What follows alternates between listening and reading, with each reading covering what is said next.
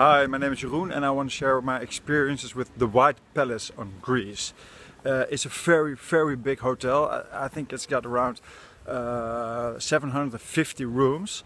Uh, it's white, as, uh, as the name says, uh, and it is white. everything is white, from the uh, chairs to the to the ceiling to everything what you can imagine. It's white.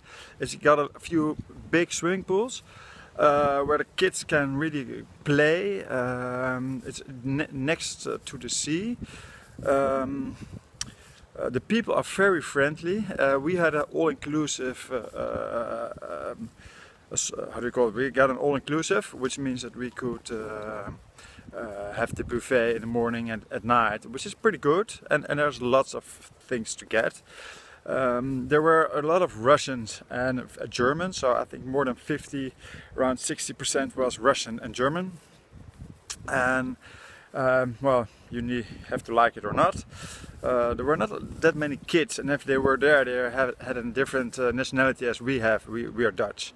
And uh, but they had fun and they they, they, they, they danced around and uh, and swam as I, as I said.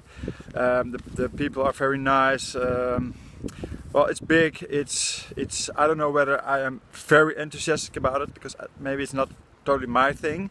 But if you like uh, friendly, friendly people, like sun, you like uh, a clean room, um, then perhaps this is something for you. So check it out. The website really says what it is, and it is what it is.